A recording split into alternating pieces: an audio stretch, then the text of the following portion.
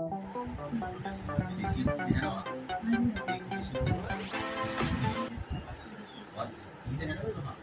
बलविंदर है दूसरे क्या नाम है एहसान क्या है एक ओशी है एक एक है एक इरफान इरफान है मोड़ी है वो डीएमटी हुए है उसको बिठाओ इधर ठीक है ठीक है वो बड़ा उधर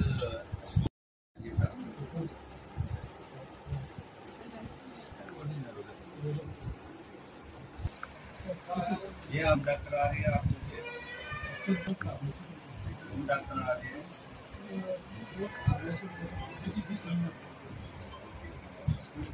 ਇੱਥੇ ਉਹ ਸ਼੍ਰੀਮਾਨ ਮਾਸਾ ਜੀ ਵੱਲੋਂ ਦਾਸ ਵੱਲੋਂ ਉਹ ਸਾਰੇ ਇੱਥੇ ਜਿਹੜੇ ਕਮੇਟੀ ਦੇ ਮੈਂਬਰਾਂ ਨੇ ਸਾਰਿਆਂ ਨੂੰ ਸਾਰਿਆਂ ਵੱਲੋਂ ਆਪ ਜੀ ਦਾ ਬਹੁਤ ਬਹੁਤ ਧੰਨਵਾਦ ਇਸ ਸਮਾਗਮ ਵਿੱਚ ਆਪ ਜੀ ਸਾਰੀ ਹਰ ਜਗ੍ਹਾ ਤੇ ਮਦਦ ਕਰੋਗੇ ਤੇ ਜੇ ਅਸੀਂ ਜਿਹੜਾ ਪ੍ਰੋਗਰਾਮ ਹੈ ਇਹ ਅਸੀਂ ਖੁਸ਼ੀ ਨਾਲ ਸਿਰੇ ਨਾਲ ਨਿਭਾ ਸਕੀਏ। ਵਾਹਿਗੁਰੂ ਜੀ ਕਾ ਖਾਲਸਾ, ਵਾਹਿਗੁਰੂ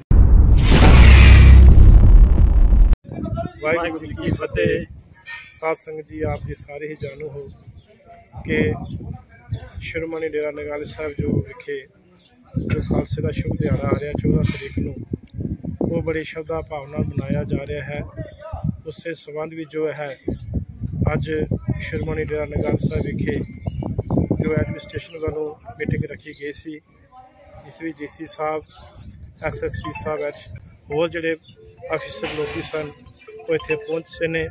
ਉਹਨਾਂ ਨੇ ਸਾਰਾ ਜਾਇਦਾ ਲਾ ਕੇ ਮੀਟਿੰਗ ਵਿੱਚ ਇਹ ਸਾਨੂੰ ਪਾਸ ਕੀਤਾ ਕਿ ਅਸੀਂ ਹਰ ਕਿਸਮ ਦਾ ਸਹਿਯੋਗ ਦੇਵਾਂਗੇ ਤਾਂ ਕਿ ਜਿਹੜਾ ਤੁਹਾਡਾ ਤਿਉਹਾਰ ਹੈ, ਉਹ ਬੜੇ ਪੱਧਰ ਤੇ ਬਣਾਇਆ ਜਾ ਸਕੇ।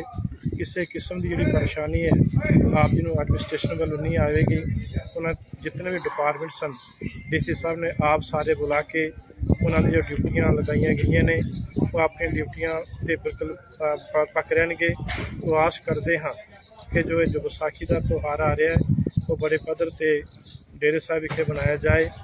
ਸ਼੍ਰੀਮਾਨ ਮਾਨਸਾ ਜੀ ਵੱਲੋਂ ਸਾਰੇ ਇੱਥੇ ਐਡਮਿਨਿਸਟ੍ਰੇਸ਼ਨ ਸਾਰੇ ਜਿੰਨੇ ਅਸੀਂ ਕਮੇਟੀ ਦੇ ਮੈਂਬਰਾਂ ਨੇ, ਉਹਨਾਂ ਵੱਲੋਂ ਡੀਸੀ ਸਾਹਿਬ ਦਾ ਐਸਐਸਪੀ ਸਾਹਿਬ ਦਾ, ਹੋਰ ਜਿੰਨੇ ਅਫੀਸਰ ਲੋਕੀ ਆਏ ਨੇ, ਉਹਨਾਂ ਦਾ ਬਹੁਤ ਬਹੁਤ ਧੰਨਵਾਦ। ਅਸੀਂ ਆਸ ਕਰਦੇ ਹਾਂ ਕਿ ਉਹ ਸਾਡਾ ਪੂਰਾ ਸੰਯੋਗ ਦੇਣਗੇ। ਵਾਹਿਗੁਰੂ ਜੀ ਕਾ ਖਾਲਸਾ, ਵਾਹਿਗੁਰੂ ਜੀ ਕੀ ਫਤਿਹ।